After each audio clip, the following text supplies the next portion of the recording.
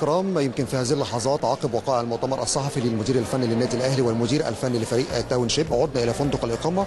وفي هذه اللحظات سعدت أن يكون معي الأستاذ خالد الدرندلي رئيس بعثة فريق النادي الأهلي بوتسوانا. أستاذ خالد طبعا لقاء مهم لأن بالتأكيد كان في حدث للأسف سيء بالأمس. تلقي ميدو جابر خبر وفاة والده وبالتالي مغادرته إلى القاهرة خلال الساعات الجارية. يعني اللحظات دي حصل فيها إيه؟ وبالتأكيد طبعا هتوجه التعزية لميدو جابر. والله إحنا أول ما عرفنا طبعا كلنا اتجمعنا عنده في الأوضة كل البعثة. الحقيقة كان موقف جميل من زمايله والبعثة كلها. آه، كله قاعد يقرأ قرآن وأدعية ويواسوه. آه، طبعا في في نفس اللحظة ابتدينا نشتغل على آه، نلاقي مكان سفر هو ونزلنا معاه محمد أسامة من الإداريين. على أساس ما يبقاش لوحده برضه. فحجزنا دو... طبعا خد مننا وقت عبال ما نلاقي مكان ينزل ينزلوا هما الاثنين بأسرع وقت يعني يعني عن طريق دبي وعن طريق آه، أوروبا وعن... فلقينا الحمد لله عن طريق جوهانسبرج وبعدين آه، إثيوبيا وبعدين أديس أبابا أديس أبابا وبعدين آه، القاهرة. فده كان آه، آه، أسهل حاجة لأن إحنا ما حبيناش كمان نعذبه في في لف كتير. فنزلنا مع محمد أسامة واطمنا عليهم. كان بيساعدنا الحقيقة آه، نسمع من آه، إدارة الكورة في النادي الأهلي برضو في الحجز. هي حجزت لنا. آه، كان طول الليل يعني بنحاول آه، آه، لقينا توفقنا الحمد لله في في ان إحنا نلاقي حجز. آه، النهارده الصبح آه، الساعة سبعة ونص كلنا اتقابلنا في في اللوبي هنا وقعدنا معاه لحد ما جت العربية وطمنا كابتن سمير عدي راح معاه المطار.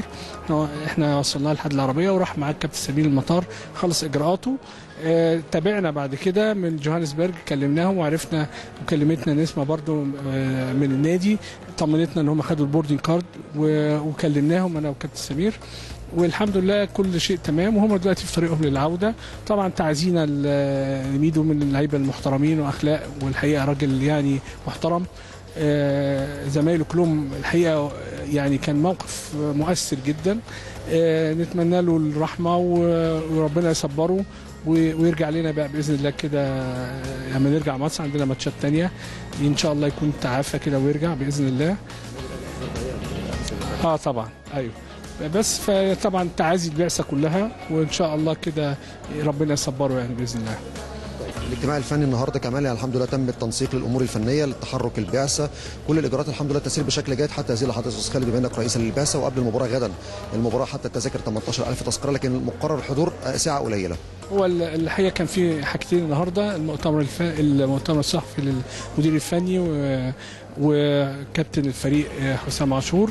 آه، كان في اجتماع الفني كمان آه، راح حضر كابتن محمد يوسف. كل شيء ماشي على ما يرام. لسه بس ال- الكوتش لسه مقابلني دلوقتي بيقول لي شاف الملعب لا مش مش مش الم- الملعب المعتاد يعني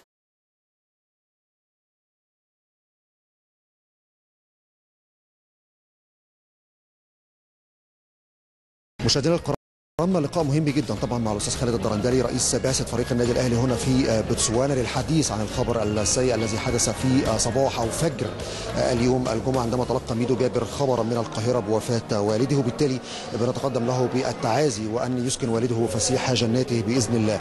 بالطبع فريق النادي الأهلي بيستعد استعداد جيد لهذه المباراة منذ لحظات توجه اللاعبين والجهاز الفني إلى القاعة الرئيسية لتناول وجبة الغذاء ثم التحرك في الساعة الخامسة والربع إلى ملعب المباراة الرئيسي الملعب الوطني هنا في الجبروني لاستعداد لهذه المباراة ثم تدريب في السادسة وسيسمح بأول 15 دقيقة لوسائل الإعلام بتصوير التدريب لكن بالطبع المؤتمر الصحفي كانت هناك أحاديث مهمة جدا من المدير الفني الصربي نيكولا كافوزوفيتش المدير الفني لفريق تاون شيب وأيضا تصريحات لكارتيرون عن أهمية هذه المباراة لكن يتبقى فقط إن شاء الله التوفيق.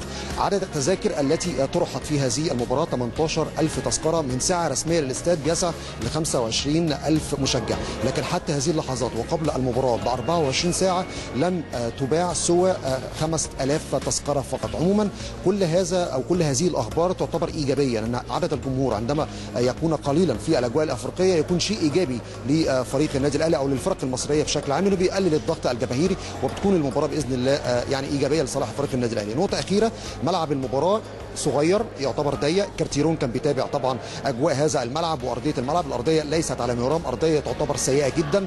النجيلة قصيرة الأرض طينيه واضحة بشكل كبير فبالتالي هي نجيل طبيعي.